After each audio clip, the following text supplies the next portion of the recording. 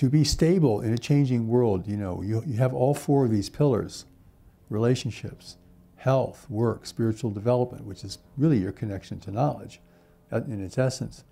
That's what creates stability.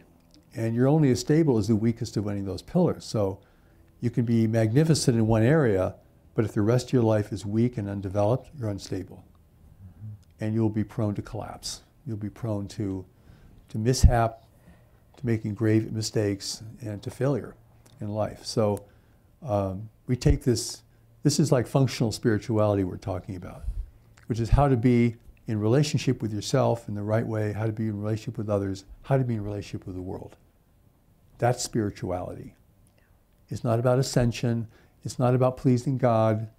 God has put knowledge within you to guide you. If you're not using it, then you're living a haphazard, you know, crashing into walls kind of life. And so we're bringing, want to bring you back to the center of your power, wisdom that has been given to you that represents your true nature, your eternal nature, that lives within you at this moment. Because, boy, we need this now as never before. Mm-hmm. You know, the, same, the earth beneath us is, is moving.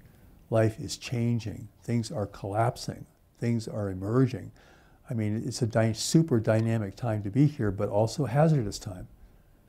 And it's important that you become as strong, have as strong a foundation as possible.